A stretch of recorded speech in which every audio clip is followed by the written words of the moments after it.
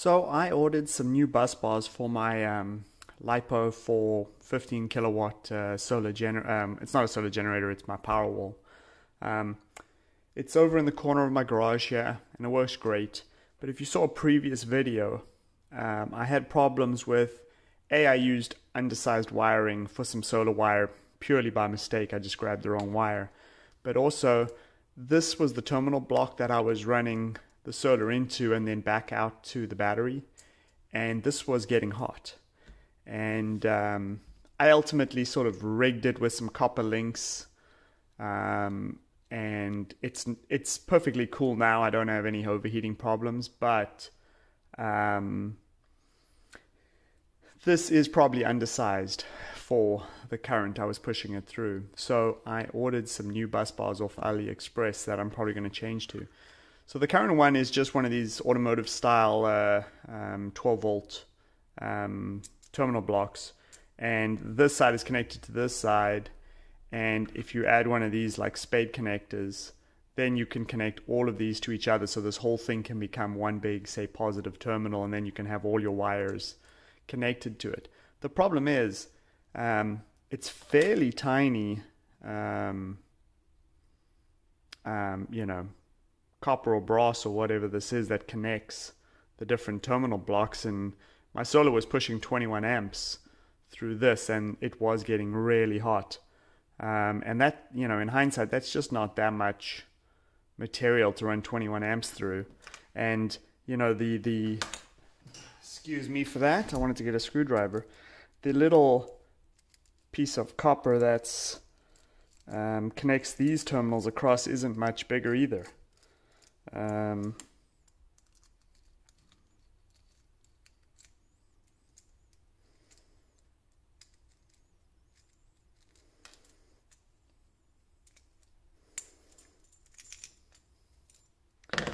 here it is.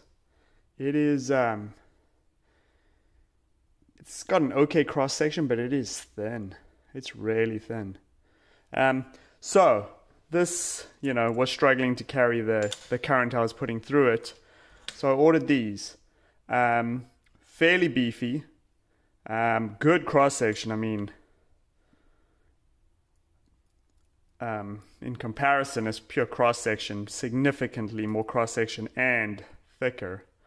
Um, so I think this will carry plenty of current. And then the nice thing about this is I, I kind of have two main um, big wires, one from the solar and one to the battery. And then I usually have some smaller stuff going to like the um, uh, battery monitor or the 12 volt circuit and some other stuff. And so this would, you know, serve me well. You know, two main connections and a couple smaller connections. Um, and these were pretty dirt cheap. I think I got five for about 10 bucks. So that's not bad. Um, I don't think this is pure copper. Um, in fact, I guarantee it's not. I think they said it, I think it said it was kind of a brass. Um, scraping it with a blade isn't isn't revealing too much. It's probably this silvery uh, brass material the whole way through but the thick, the decent thickness and the cross section and that this should be you know 20 amps. This should carry that without even breaking a sweat. Um, so yeah, I think this will you know work well. I'll screw this onto the back of my uh, my power wall, and then attach my two main power wires and then my my auxiliary um, connections here, and we'll make one positive and one negative and uh, um, I think this will uh, definitely solve any overheating issues I had on the bus bar. Um, so let me pull out my solar generator. I mean, I keep saying solar generator. I mean my power wall. Let me wheel my power wall out, and uh, we'll check out uh, what I'm going to be doing. Okay, so here is the back of my um, 15 kilowatt uh, LiPo 4 uh, power wall, and um, you can see here is this is the negative bus bar. This is the positive bus bar. Um, here is the negative coming from the ba- uh, actually coming from the solar generator, and here is the negative going down to the uh, shunt and back to the battery.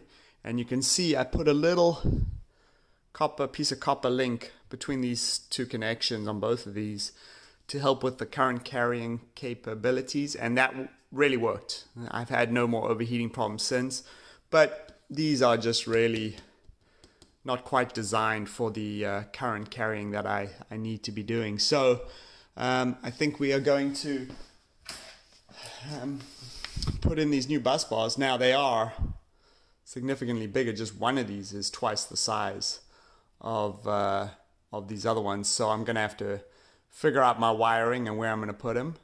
Um, and maybe I'll, yeah, I think I'll probably put them horizontally. I think that'll work. I'll put one horizontally there and one horizontally there. And obviously this will be the positive, that'll be the negative. Um, but yeah, I think we'll, we'll and um, I'll have to terminate each one of these connections because right now they're just screwed down and they don't have any, any ring terminals on them. We'll have to switch to ring terminals. Um, but that's not that big of a deal. And um, I think let's screw this into the board, remove these connections, um, I'll have to make sure the battery is disconnected and there's no chance of anything shorting, but I think everything on here runs through the main switch up here. This switch up here, I think everything everything on here runs through this main switch, so I don't think there's a risk of shorting. Um, but uh, yeah, let me disconnect this and, and uh, lay this out and, and we'll start uh, rewiring everything.